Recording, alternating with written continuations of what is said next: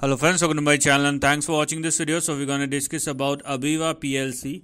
Now first of all, this particular share is listed in London Stock Exchange and the currency will be in GBX. So please take a note of it.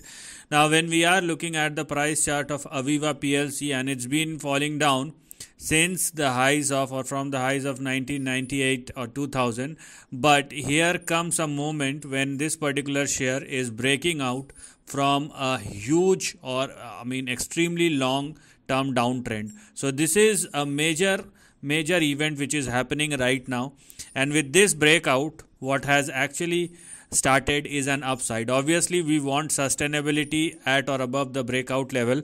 So for aviva plc 453 will be the level at or above which the breakout happens.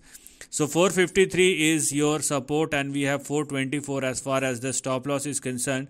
So first of all, please do not go below these two specific levels as far as the lower end of the range is concerned. Now because Aviva PLC is now trading and sustaining at or above 453, what is currently active on the upside are targets starting with your immediate target of uh, 566 then we're gonna have our next big target which is 851 and further it will expand or extend somewhere in between 1100 and 1290 or 1300 as far as the long term trend is concerned. So we are not going out of the range.